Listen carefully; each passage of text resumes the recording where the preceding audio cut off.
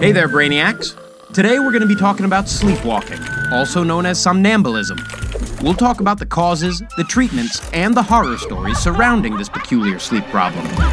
We'll also discuss celebrities who have been caught sleepwalking, and we'll debunk a few myths about this mysterious sleep disorder.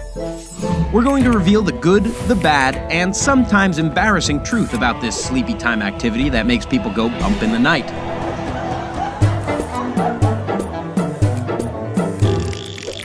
Quick quiz Is it actually dangerous to disturb a sleepwalker while they're sleeping? The answer might surprise you. Watch until the end to find out. What is sleepwalking? Before we dive in, let's talk about the definition, causes, and behaviors associated with sleepwalking. When a person is asleep, their brain usually shuts down so it can recharge. It's kind of like plugging in your iPhone, only it's way more complicated and your brain doesn't hook up to a USB cable. Now, when you fall asleep, your body is supposed to shut down and reset. But for some people, that doesn't always happen. People with a sleepwalking disorder can move their bodies around even though their brains are asleep. Think of it like this Imagine a car with no driver, but there's a brick on the gas pedal. The car is moving, but there is nobody in the vehicle to steer or hit the brakes. Sounds pretty dangerous, right? So, what should you do? First, let's dive into the Brainiac facts to get a closer look. Sleepwalking behaviors.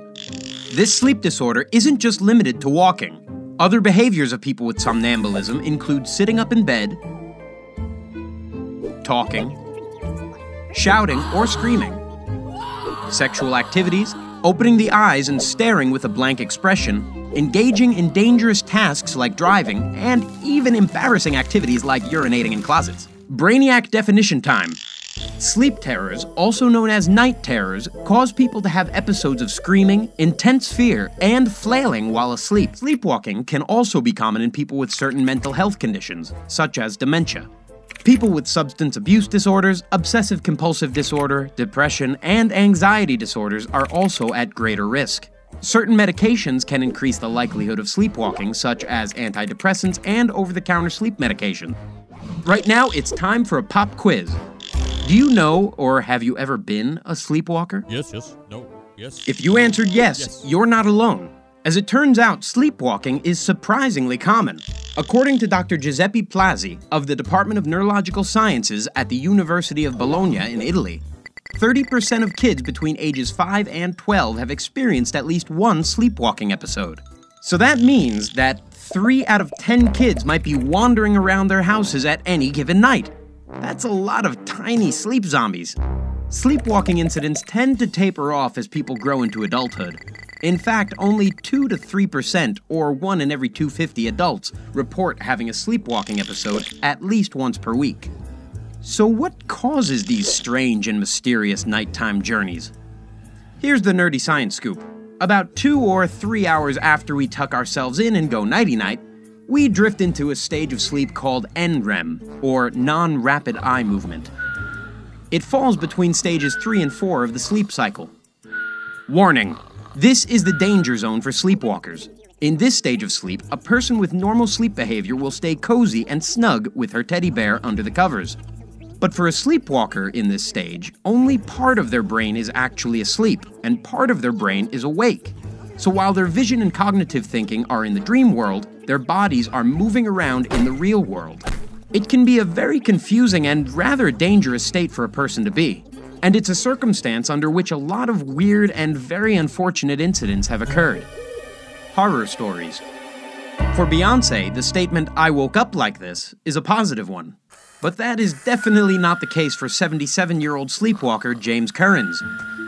Here's what happened Mr. Currens got out of bed and went on a sleepwalking adventure out his front door with cane in hand. His nighttime stroll led him to a nearby pond.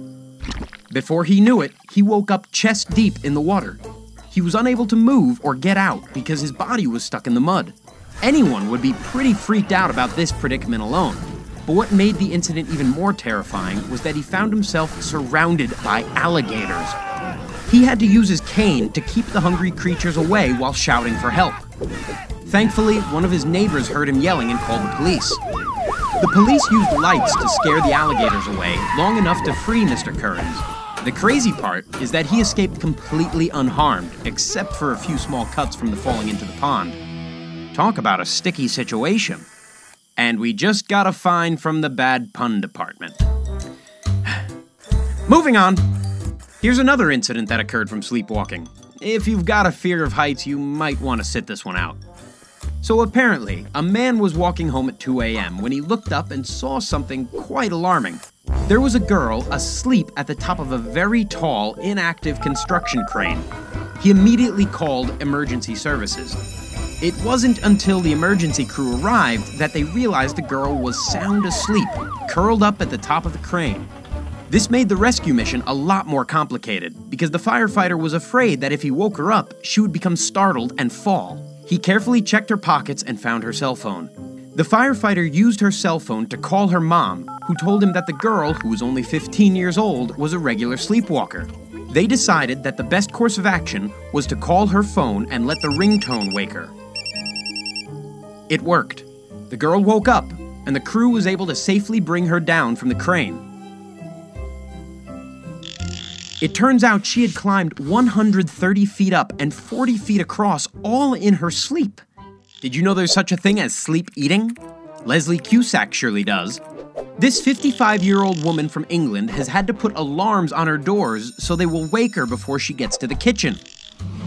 Sleep eating may seem like the least dangerous sleep behavior on this list, but it's not as harmless as you think. Leslie has been known to cook with her gas stove while asleep, which is obviously a fire hazard.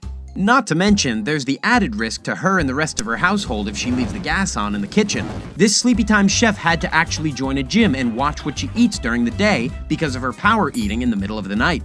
She has been known to eat as much as 2,500 calories during one of her sleep eating sessions. That equals about 10 bowls of ice cream or about 7 sandwiches. That's pretty impressive for an unconscious nosher.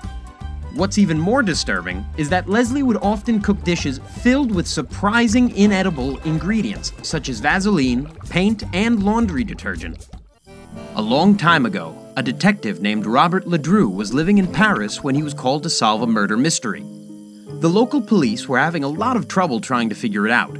Since Detective Ledru was the finest cop in the city, it seemed he was the best one to solve this case.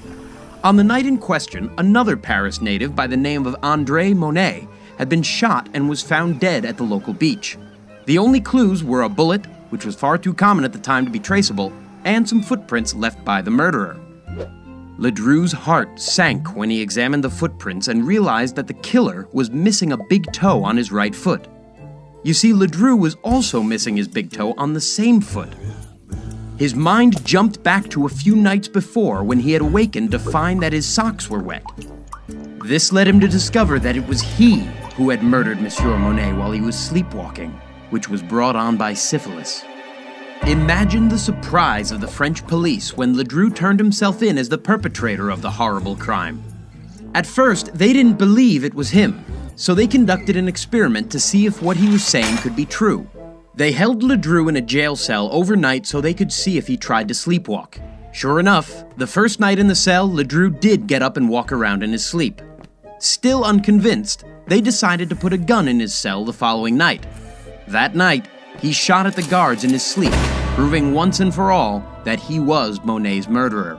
Prosecutors decided that he could not be held accountable for his crime since he had been asleep at the time, but they also acknowledged that his sleepwalking made him a danger to society so they exiled him to a farm in the countryside. Ledru lived out the rest of his days on that farm. He had to be under the care of nurses and guards, so he couldn't carry out any more comatose capers. Jennifer Aniston told Us Weekly that she is a lifelong sleepwalker. She shared that one time she walked out of her house and was awakened by the home security alarm. She said the alarm scared the heck out of her. She revealed that when she woke up, she was out by the pool equipment in the backyard. Apparently, Brad Pitt, who was her husband at the time, was terrified because he heard the alarm, but Jennifer was nowhere to be found. And this wasn't the first time when she decided to go for a stroll in her sleep. When she was a child, she would walk into the living room and have a full conversation with her mom. In the morning, she had no recollection of the conversation. Chris Colfer from the TV show Glee has got Jennifer beat.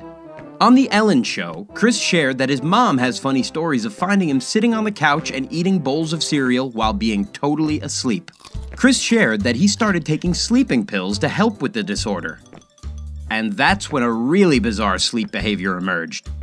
According to Chris, he started shopping online in his sleep. He said he would receive random packages from his sleepy online shopping excursions. He would open them up to reveal things like the complete series of The Carol Burnett Show or a life size poster of Lady Gaga. The strangest package he got contained a huge framed portrait of Marie Antoinette. Well, the subconscious wants what it wants. There is even something called the Ambien defense in a court of law. The Ambien defense has helped several defendants get acquitted from serious crimes because they committed the crimes while under the influence of Ambien. The makers of the drug have been forced to print a warning on the label, saying that medications in the hypnotic class, such as Ambien, carry occasional side effects. These side effects include sleepwalking, abnormal thinking, and strange behavior, such as sleep driving, sleep eating, or sleep shopping. It got so bad that users sued the makers of the drug. The attorney for this class action suit called people in this Ambien blackout state Ambien zombies and claimed that they were eating things like buttered cigarettes and eggs complete with the full shells. Several Ambien users have ended up behind the wheel, causing serious accidents while asleep and under the influence of Ambien. One woman took the medication and went to bed, only to wake up six hours later barefoot in a jail cell, still wearing her pajamas. Apparently, she got up, ran a bath, took her dog for a walk, and then got in her car and crashed into another vehicle. This woman used the Ambien defense and was able to get off with a suspended license and probation. It turns out that Ambien may not be the best solution to insomnia after all. One celebrity wrote a memoir, which became a movie about his sleepwalking adventures and how he nearly died in a sleepwalking accident. Comedian Mike Birbiglia was on tour in Washington when he had a nightmare. He dreamt that there was a guided missile headed toward his hotel room. In real life, Mike climbed onto the windowsill and jumped out of the window of his hotel room. Although he fell two stories, he survived. He had to get 33 stitches for gashes in his legs from the fall. After that, he decided to visit a sleep specialist for overnight observation. When they hooked him up to the machines, they discovered that Mike was suffering from a dopamine deficiency. Dopamine is the chemical that your brain releases to paralyze your body while you sleep so you don't act out your dreams. This was a major problem for Mike. He shared that people who have this dopamine deficiency tend to be running away from some type of scary situation in their dreams, and that's why they act it out in their sleep. He said in rare instances, people have actually killed someone while remaining asleep. And that brings us to our final question Just how dangerous is it to wake up a sleepwalker? There's a rumor going around that waking a sleepwalker may cause them to have a heart attack, go into shock, or suffer brain damage. This is false. The truth is, it's sometimes necessary to wake a sleepwalker so he or she doesn't hurt themselves or someone else. But be careful if you need to wake them. They may think they are being attacked and unconsciously lash out at the person waking them up. Sleep experts suggest gently guiding them back to bed while touching them as minimally as possible. If that doesn't work, they suggest making a loud noise a safe distance away from them to jar them out of their sleep. That's Brainiac's take on sleepwalking. If you have a sleepwalking story to share, leave it in the comments below.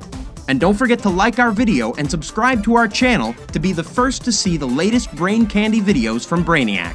See you next time!